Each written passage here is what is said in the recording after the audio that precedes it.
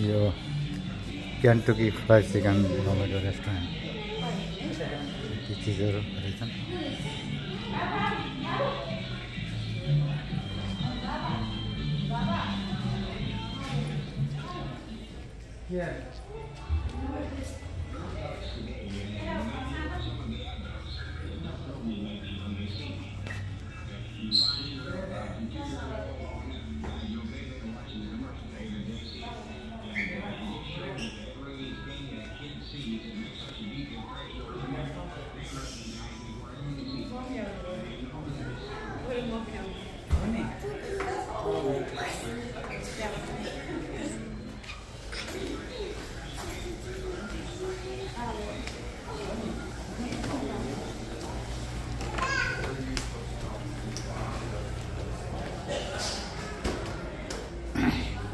जहाँबाट क्यान्टकी fried chicken बन्न सुरु भएको हो।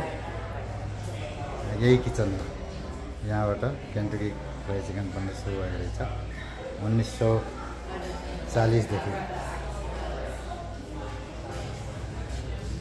यहाँ आउने मौका पऱ्यो।